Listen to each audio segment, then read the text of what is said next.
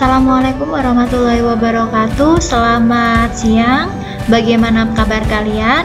Sebelum kita memulai pembelajaran, alangkah lebih baiknya kita berdoa terlebih dahulu. Berdoa bisa dimulai. Nah, untuk presensi, silakan kalian mengisi presensi pada WA group dengan menuliskan nama dan nomor absen. Terima kasih. Nah, di sini peserta didik melakukan absensi pada WA Group.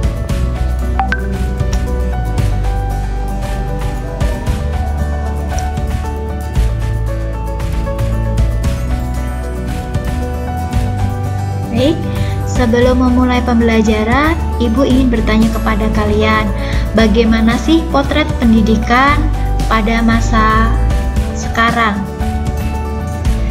Sebelum memulai pembelajaran, guru melakukan apresiasi.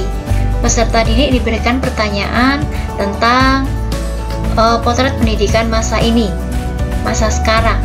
Kemudian peserta didik diberikan motivasi oleh guru.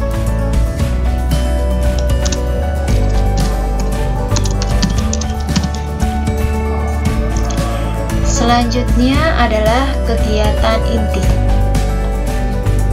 Sebelumnya, guru telah menge-share materi pada peserta didik di Google Classroom berupa PowerPoint. Dalam materi tersebut, peserta didik diberikan pertanyaan yaitu berupa analisis gambar yang kemudian dijawab di Google Classroom oleh peserta didik.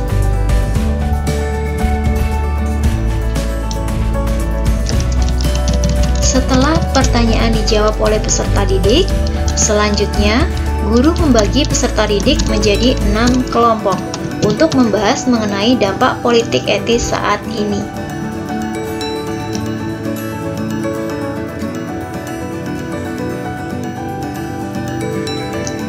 Kemudian diskusi dimulai. Guru memantau diskusi per kelompok, menanyakan apakah ada kesulitan dalam memecahkan masalah atau tidak.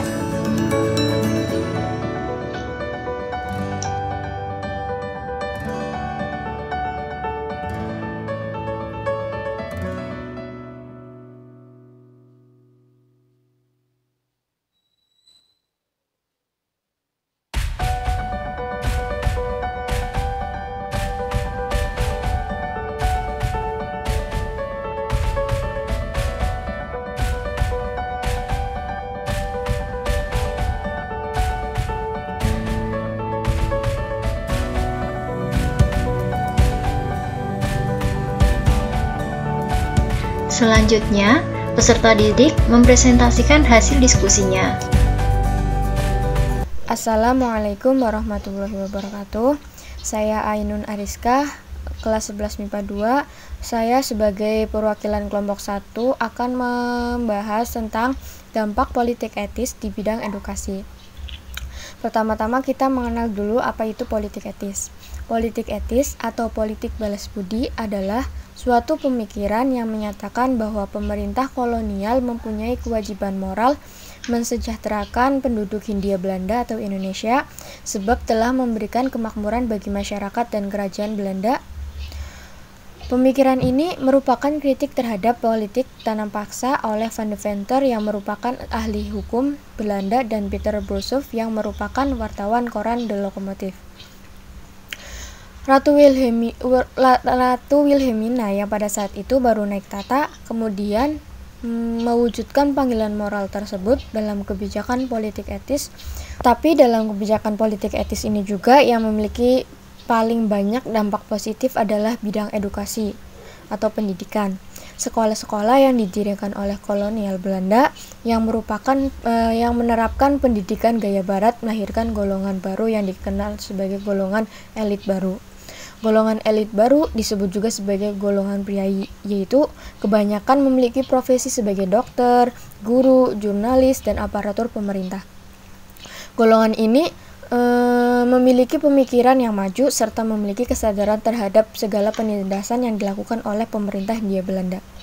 Dari sinilah e, kemudian lahir organisasi-organisasi nasional seperti Budo Utomo, Sarekat Islam, dan Partage eh, organisasi-organisasi tersebut menjadi cikal bakal pergerakan nasional dan melahirkan kebangsaan Indonesia. Jadi, dapat kita simpulkan dampak politik etis dalam bidang edukasi pada saat ini adalah yang bisa kita rasakan pada saat ini adalah sekarang ini sudah banyak sekolah-sekolah yang dibangun, dibangun di berbagai daerah, bahkan pelosok daerah sekalipun. Tidak ada lagi diskriminasi antara anak, anak orang kaya atau anak pegawai negeri dengan anak orang anak-anak orang miskin atau anak orang biasa. Sekarang dengan adanya internet juga, dengan mudah kita bisa menggunakan untuk mencari materi-materi dan bisa memudahkan kita dalam belajar mengajar. Sekarang juga kita bisa bersekolah dengan mudah tanpa adanya hambatan atau diskriminasi yang terjadi di sekolah. Eh, sekarang juga banyak sekolah gratis bagi anak-anak yang kurang mampu atau bagi anak-anak yang pintar dan berprestasi. Banyak juga fasilitas-fasilitas pengajaran yang diberikan pemerintah seperti SPP gratis bagi anak berprestasi, beasiswa, atau pada saat pandemi ini adalah memberikan kuota gratis itu saja yang saya bahas. Eh, sekian, kurang lebihnya mohon maaf apabila ada materi yang salah atau kurang. Wassalamualaikum warahmatullahi wabarakatuh.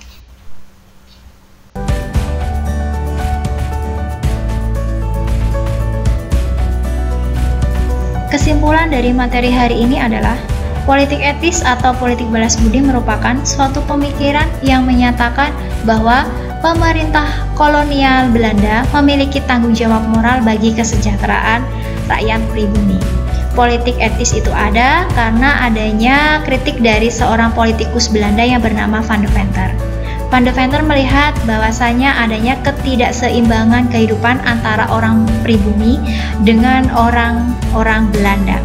Orang pribumi hidupnya sangat sengsara, sedangkan orang-orang Belanda, pemerintah kolonial Belanda hidupnya sangat sejahtera karena mendapat aliran dana dari rakyat pribumi.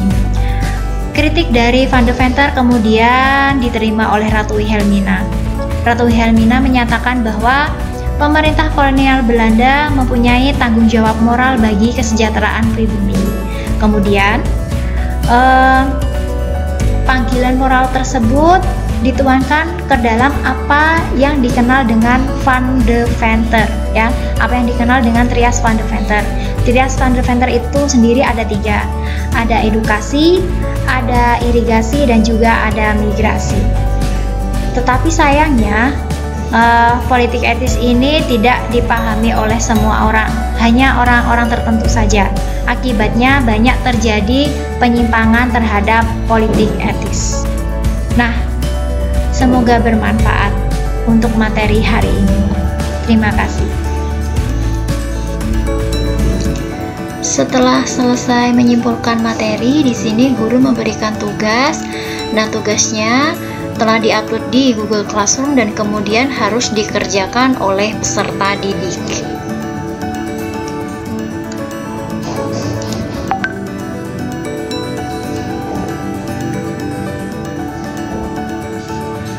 Guru dan siswa melakukan refleksi, refleksi pembelajaran sebagai evaluasi agar di pembelajaran selanjutnya bisa lebih baik lagi.